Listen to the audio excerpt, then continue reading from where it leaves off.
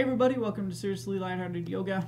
Today we are going to dive into muscle contraction day number 2 Yesterday we spoke about isot- isometric contraction. Good work. Today we are going to be talking about isotonic. There's kind of two subsections for isotonic, so we're going to be talking more more specifically about one of them today. But what is that uh, that type of muscle Yeah. contraction? So, guys, isotonic muscle contraction, as Clifton just brought up, is the type of contraction that is involved with joint movement. So, whereas isometric was when a joint isn't moving, those are kind of the contraction forces that are at work.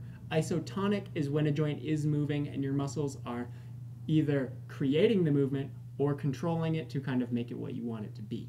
And today we're talking about concentric contraction, which is creating the movement from the joint. This is uh, anytime you're able to swing your arm up into the air, there's a concentric contraction that has to occur.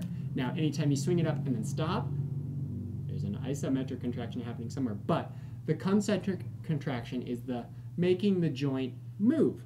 Uh, that happens in all sorts of ways, as I am sure you can now be aware of, Yeah. having understood that. So, uh, tomorrow we're going to talk a bit about eccentric contraction, which is slightly different and more of a modification to the movement. So, Yeah, so a couple important things. This is obviously very self-explanatory. Concentric contraction, like we are talking about in this video, is kind of actuating the movement, is is causing the movement to occur, whether it's moving your legs or your mouth or your your arms. It, it doesn't matter. That is that is the type of movement that's happening.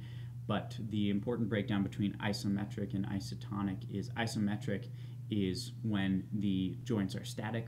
Isotonic is whenever they're in motion. Is that kind of muscle contraction. So. Let us know if you guys have any questions. Keeping it simple. Give somebody a high five, and uh, we got one more coming at you tomorrow.